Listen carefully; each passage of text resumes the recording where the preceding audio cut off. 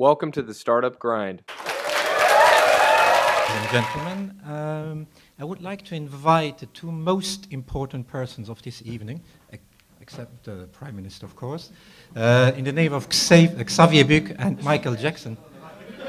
I said except. So, if you fray your way through, and if you could get a, another mic, please, another microphone. Uh, before both of them are here on the stage, or come on stage, take a seat. I quickly explain you what Startup Grind is about. Startup Grind, like, like First Tuesday, which we started uh, 15 years ago nearly, yeah, we get gray hair, is the idea is to inflict the virus of entrepreneurship and to promote entrepreneurship and to show by example what you should do, what you can do, what you should not do, but you, what you do anyway. And I mean, if you fail, it's not wrong, but fail fast. So tonight, for this first event, I'm very pleased that two of the people I really look up, not only from the height, uh, have accepted to join us tonight for this first Startup Grind. Startup Grind, the format is simple.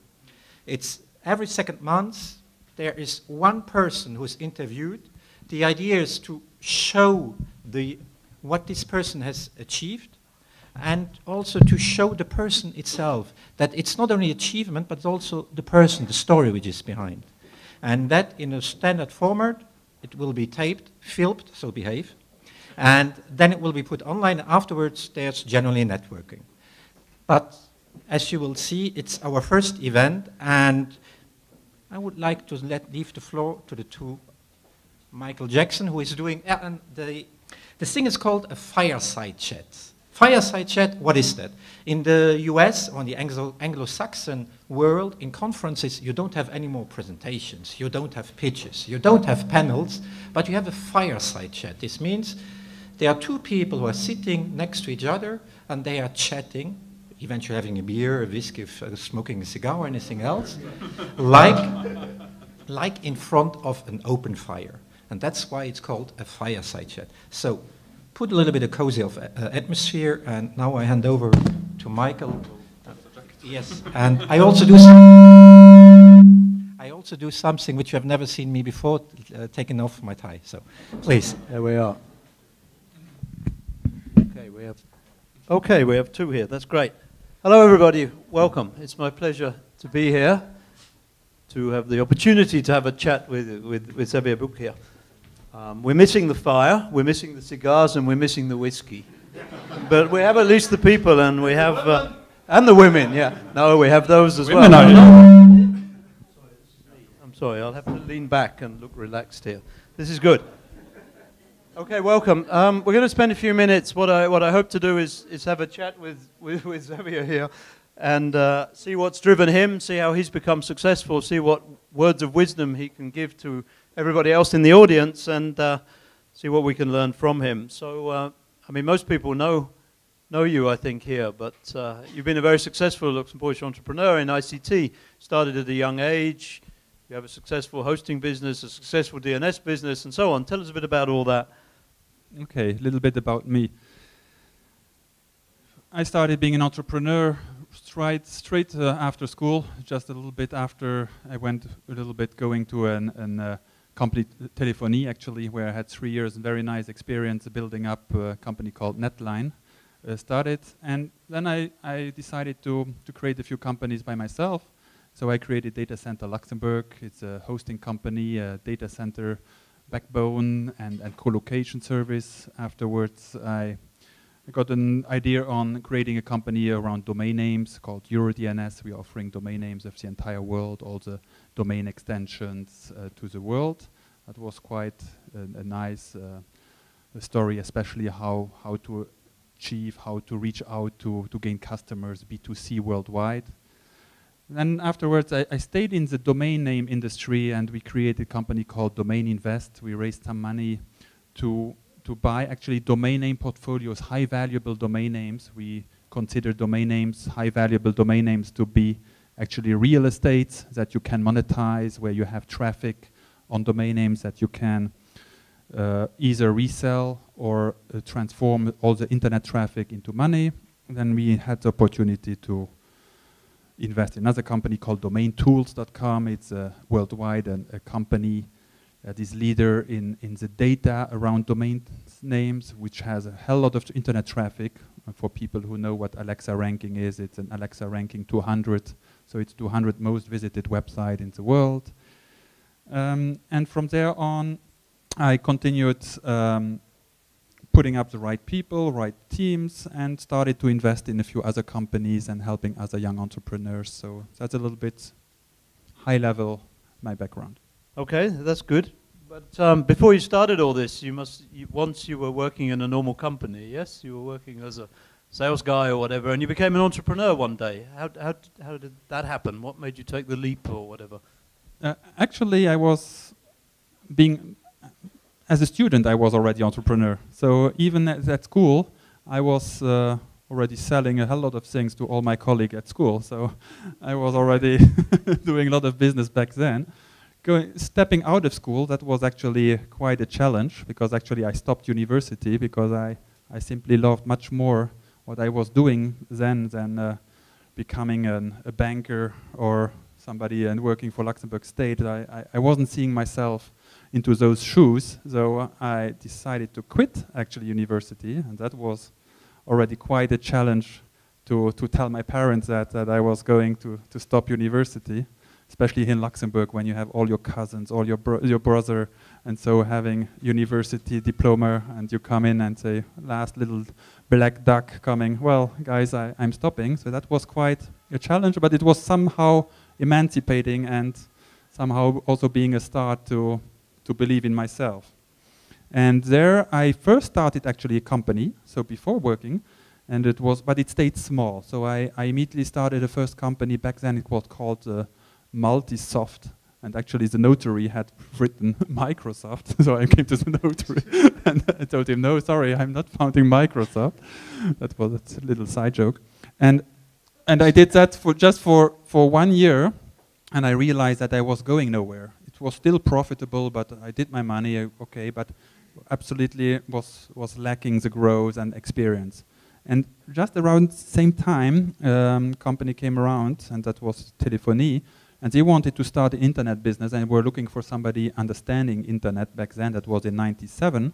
So in 97, Luxembourg didn't have much people understanding a little bit internet. And so I joined them and said, okay, let's, let's build this company. Actually helped them even do the roadshow because they even went for external investors. And that company had 4,000 really interesting customers in Luxembourg, even from ministries all over the place. So, and they had great structured team. And so I, I really piggybacked on, on that knowledge and experience and how they were structured and learned quite a lot there. And after three years, I decided, okay, now I have built up something for somebody else, and um, now let's let's do it for myself.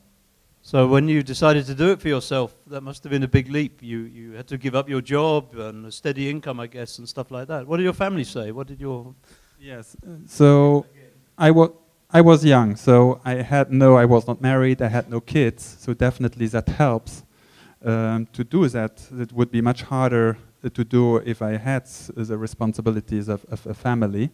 And also, it, it didn't come from one day to the other. So when you prepare to do your, your first startup, you, you, you build, you look at the pieces of, of the puzzle that you need to achieve, to be successful. So you, you reach out, you, you have your idea challenged, you try to find partners that would join you, you try to look up on investors uh, if they would follow you, you already uh, try to get some customers that would follow you. So I, well, everything was lined up and prepared before I, I, I did the jump.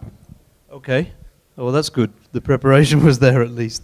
But we're here at something called Startup Grind tonight, and startup is always exciting these days. Ever it's in the TV, and we have you know billionaires and private jets and people on the TV talking about startups all the time. But the other word here is startup grind. Grind, as you know in English, it means grind. It's hard work. It's it's it's day to day. It's boring. It's many tedious things. What what was hard in all of this stuff that you did? What was the hardest thing you had to do? The work itself is not hard. When you're passionate, when you like, when you are decided to go for it, you, the hours simply fly by. So you definitely, back then, uh, 70, 80 hours a week was absolutely normal. But but you don't see it. They don't. You don't feel it.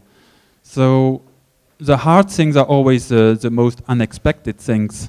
So you, when you build a startup, you you weight the risks, the pros and the contrasts, and whenever you you decide to go a next step, and uh, and and based on those risks and and and how much risk you're ready to take, you you you, you put your up you you put that confront that to your goals. So actually, the hard things is able to push your goals further and be able to, to bring up and follow up all, all the rest of the elements that you need to, to achieve the new goals. So actually, the way how you could limit yourself is actually, and how you can your surpass yourself is actually the hard thing. The rest is as long as you like and what you do, it's, it's easy.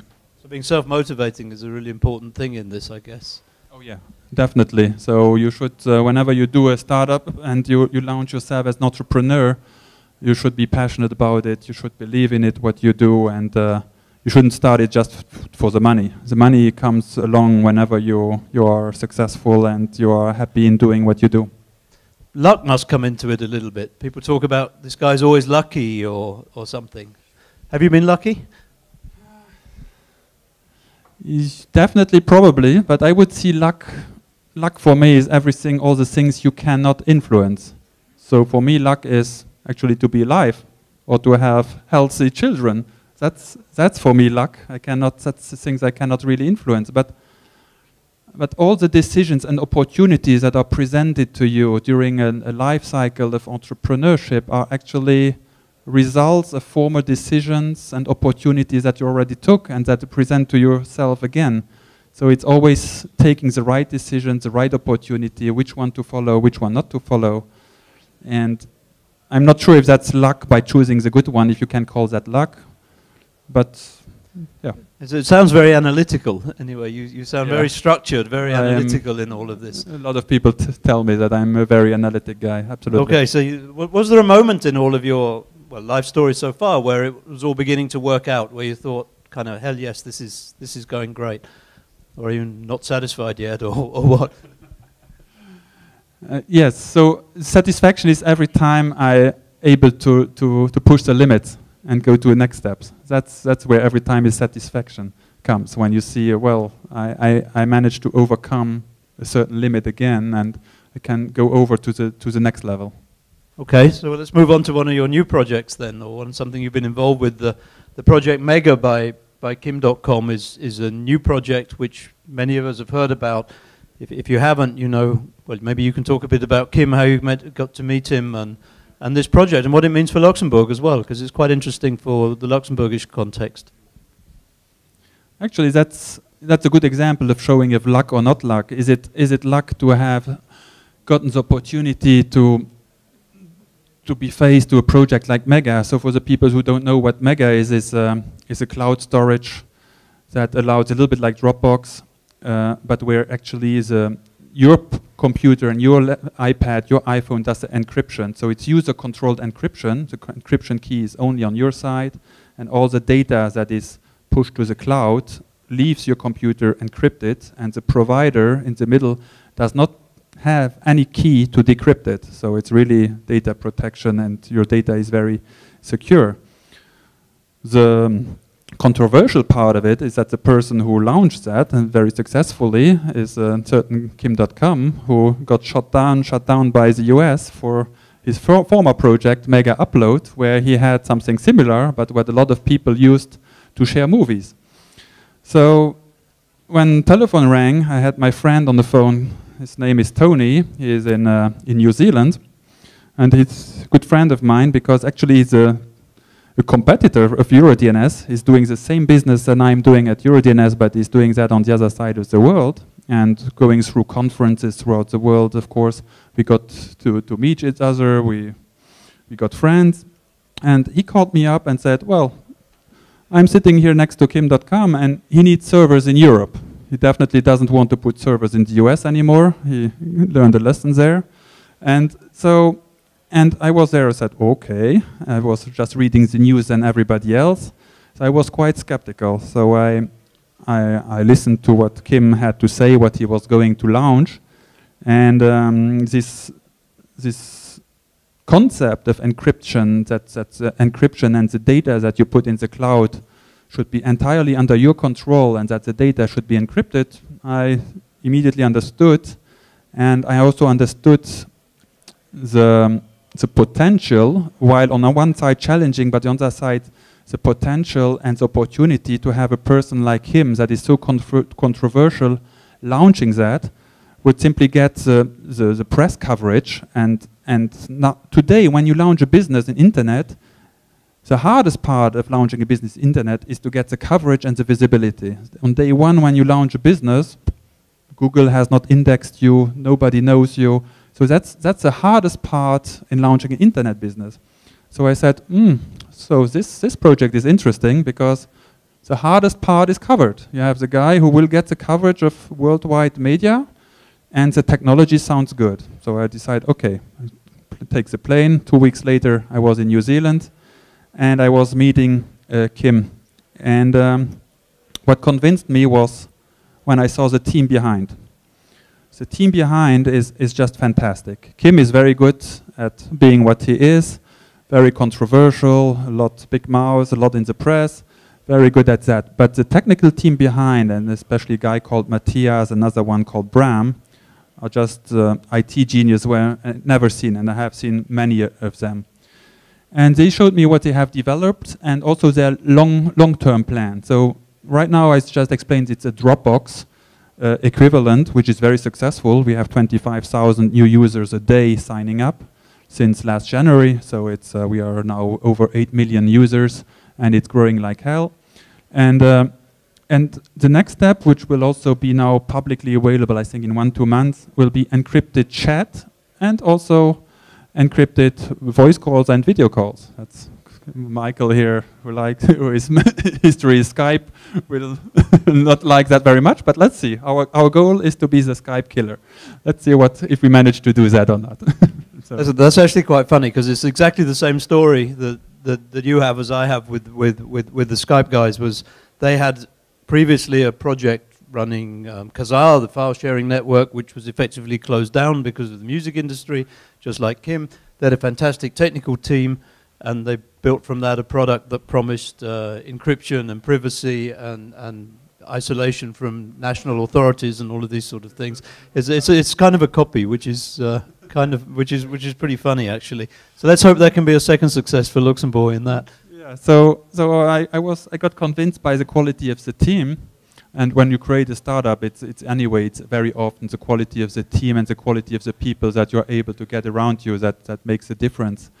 And so I decided, okay, I will help these guys. I will help them build the servers, and, and um, actually, I even invested in the company, and um, got even friendship. So it's very strong uh, uh, bond. And so we, at the beginning, we didn't put servers in Luxembourg directly um, because of the controversial, and we were not sure how the service would be perceived in the world. Will it be seen again as a Megaupload or will it be accepted as being as a, a Dropbox? So, and, and Luxembourg, I even went to Luxembourg government ministries and we all agreed together, okay, let's at least wait a few months to see how, how it comes up and how the image is. And then luckily what happened, we all know what happened, and came Mr. Snowden and the NSA story. Then bingo, now the bad guys were US and the good guys were the people encrypting data and, and protecting data privacy. So then that, that was the go. And, and meanwhile, anyway, the service was seen as, as being a Dropbox-like service. So what we did is we started really building up servers in Luxembourg. And, uh, and meanwhile, we are adding a rack full of servers per week uh, for just just for Mega. So it's um, it's a fantastic story. It's good for the bandwidth of Luxembourg, for the data centers in Luxembourg. Bandwidth-wise, we have tripled the Luxembourg capacity nearly in in no time. So and it's it's continuing. Oh, well, that's great. Anyway, so th these businesses, some of your businesses, have all needed funding, and many of the people here who are contemplating businesses need the funding. How's the funding process been for you through your through your life? Tortuous, easy? Tortuous at the beginning. Whenever you start your first startup, it's really hell. So uh, trying fund, fund, find money. Um, we were lucky that one of the partners. So I, when I started Data Center Luxembourg in 2000, I, I, built a strong team around me. I had a very good sales guy. I had another guy that was very good in communication. He actually was working for a newspaper. And I had an older guy, gray, gray hair, we called him back then, who was our financial advisor and who also had relationships to, to people with money. So that was enough. And we put our first money, own money on the table. So that was enough to, to launch, kick, kick off our first uh, startup with our own money and then a little bit friends and family. So friends and family is still the way to go whenever you start your, your first startup. We were lucky that one year later we needed to invest some money into infrastructure, so we went to the banks. And thanks again to experienced people uh, in, that were co-founders of ours, the bank actually, we never thought they would, they, they gave us an, an, a loan back then actually on even without signing personal guarantees. So that's nowadays, that was in 2000, nowadays it's nearly impossible. But uh, actually only on the, how we call it, fond de commerce, we got, we got the loan.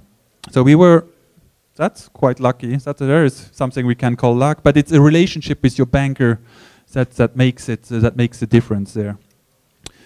And then the next companies were easier and easier, and uh, I I can say that I, I did all type of. Huh? So I invest. I, I got raised money from private high network individuals. Um, with that was with EuroDNS actually. With EuroDNS that was in 2004. That's what I did. I had the first external investor that we found. That was a very nice experience.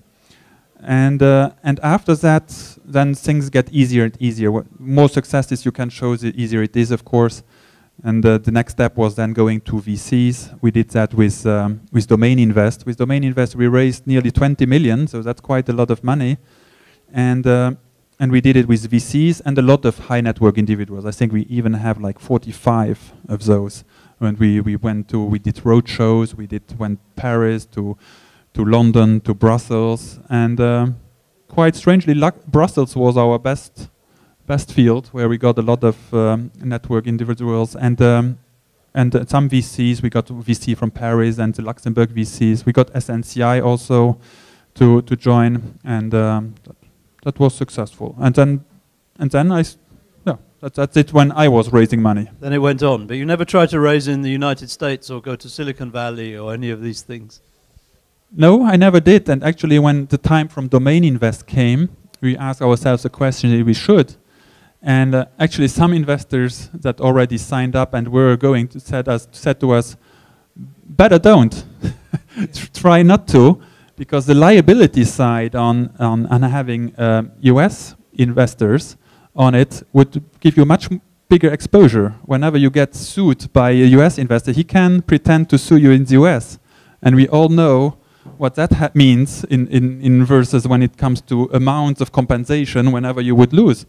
So, so we followed that advice and we said, no, let's better stick then to European ones.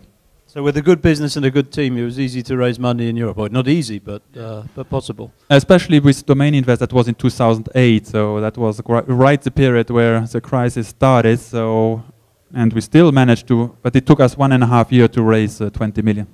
You're okay. Changing again the subject a bit. You're from Luxembourg. You're president of the ICT cluster here, which is which is great for everybody. But if you're starting up today as a business, I mean, everybody says go to Silicon Valley, go to London, go to Berlin, go to Singapore, I, I don't know where. Uh, what, what should we be doing here in Luxembourg? Why should people be coming here to, to, to be starting their business? Good question.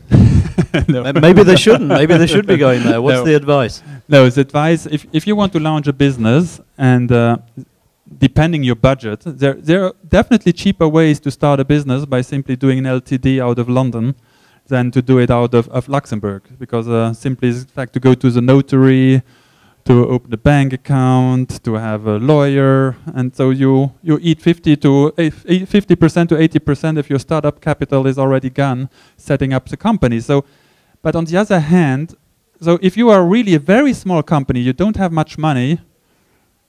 Actually, try first to build your business case, but once you're going for something a little bit stronger, bigger, where you have investors, b- doing out of Luxembourg helps helps to get investors to show a stability, and and it also helps for on, on the B2C side, at least on in internet side, to, to find the right employees who can cover all the languages that you will, if you address multiple countries, you want to address the French market, German market, and UK market, then it makes sense to do it out of Luxembourg. All the other aspects, for a startup, I could now start listing all the advantages that I would list by being the ICT cluster president, saying that the data centers are great, that electricity is cheap, that bandwidth is cheap, but all that aspects for a small startup doesn't mean much at, at that moment because the cost side that has no impact. But if you look at what will happen if you are becoming successful and once you your goal is to be big, then Luxembourg having starting out of Luxembourg is a big advantage, especially on the legal framework around e-commerce also and the close ways to the ministries and and, and around the, the e-commerce and, and the legal framework is becomes very important. At EuroDNS, for example, uh, all the terms and conditions and everything around e-commerce protects us a lot. We managed to have customers, over 300,000 customers throughout the world, and it, it happened that some customers sued us actually a few times, but because of the terms and conditions and because of the strong e-commerce law, they had to come and sue us in Luxembourg, and and and simply it was we were always in our right. It was always very strong. We we never lost, and it it, it helped us to to protect our business being out of Luxembourg. So that's that's just the, the legal side of it. It doesn't mean though the more I create businesses and the more I invest in businesses, it doesn't mean at the beginning I did everything out of Luxembourg. But now when you have a startup, you could be flexible. You can have the heart of it in Luxembourg, controlling, having the your back covered by Luxembourg. But you could have some developers throughout the world. You could have some support uh, people out of the world. You could be flexible in future. So I'm not saying everything must be Luxembourg. Look look at it as an, especially in the internet world, as as being flexible and and doing the necessary thing. But you will end up really loving Luxembourg and doing business out of Luxembourg. Well, we'll take a couple of questions. I've got one more quote after this question, and then we'll have a couple of questions from the audience, and then we'll finish off, I think. Um, I, I just wanted to know, can you get the people here, the technology people in Luxembourg, to satisfy the fast-growing startup in the financial sector, for example, that we see, see these days? You mean finding the, the resource, for Yeah. human, human Yes, resources? Human resource, yeah. Mm, You have to go and, and, and bring them in, the, the real good guys. So I'd also try to, to tell to people is that in internet, being good is not good enough. You have to be excellent. You have to go for the best of the best. So we definitely in the in the last time we, we go and we hunt internationally to get the best guys. But that's that's for the top level, and then you can still find a lot, and you also find there's still some good guys coming out of school. I'm not saying that uh, at all, but when you are on an international field and you have to compete with the international, with all all the strong guys internationally, you have to go really for the best of the best. And we we headhunt international, and we bring, but we bring it back to Luxembourg, and it's actually not that difficult to bring it back in Luxembourg, especially if it's families with kids. The very young guys, they look at Luxembourg and say, "What what I'm doing in the evening in Luxembourg, or what I'm doing here," and and the weather. Look at that weather. What? Why am I coming here? But but still, it's not that difficult at all. And also, when you bring them to Luxembourg, also the salary side of it, it's, it's mostly attractive to them. Okay, that's good. Uh, any questions from the audience? Steve's got one question and. Oh, one question. There was the first hand. I s- Does, do you think that the uh, one euro startup would stimulate um, the Luxembourgish startup uh, economy in any way? So I think that it's a good thing and a bad thing. So I think we should do a mix of both. So we should definitely allow because we the young startups that come to Luxembourg or want to come or, or want to or somebody want to start a company often have the chicken egg problem. So they cannot find an investor until they have a vehicle, but they don't have the vehicle because they don't have the money. So so somewhere to have the one euro startup, I think is a good idea. Simply to have a vehicle for, for, for investors to come in. But uh, what I'm always saying, mostly even even a startup guy, somebody an entrepreneur who wants to start a startup and is not able to find 12,500 euro, then he will not be able to do anything else either. So if you're not able to to have that challenge, how can you expect solving all the other challenges that you will have to face? which are much much harder to solve than this 12,500 euro. Okay, that's great. Just one word of advice then to anybody here starting a, a life of hardship with no money and permanent worries. Uh, what would you say to these guys? if you have a dream, you are passionate about it, then you we will find means and ways to, to achieve it. So that's and, and, and follow it. Of course, when you have families or so, you have also to, to take into weight that, but uh, simply go for it. You only have one life. It's a short one, so go for it. Oh well, we wish you a long life. Anyway, thank you for this evening. Welcome to the Startup Grind.